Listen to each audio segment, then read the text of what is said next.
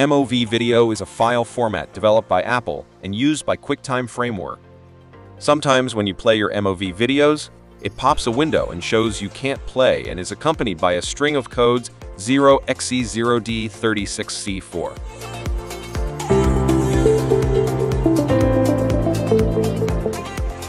The 0xc00d36c4 error typically indicates a corrupted MOV video file.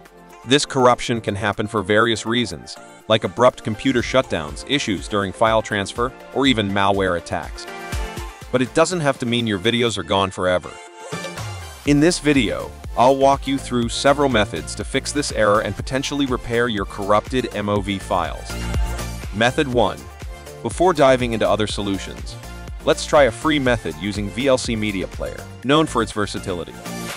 Open VLC and head over to Tools, Preferences. Click on Input slash Codecs. Under Damaged or Incomplete AVI file, check the box for Always Fix.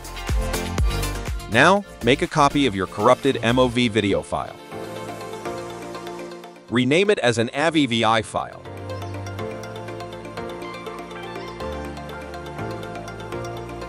Try playing the renamed file with VLC VLC might be able to rebuild a temporary index and bypass minor corruption issues.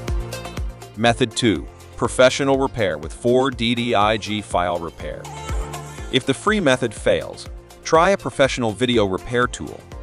Here I recommend you use 4DDIG File Repair, which can fix various corrupted files, including MOV files. You can easily repair videos, no matter how they were damaged. Get the link from the description below and install it. After installation, choose Fix Video Errors and Video Repair. Add corrupted MOV files. Click Start Repair.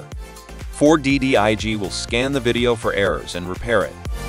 Now you can get the repaired videos, preview and select desired ones. Export them to your computer. Alright, this is how to repair MOV files. If this video is helpful, please give us a thumbs up and don't forget to subscribe. See you in the next video.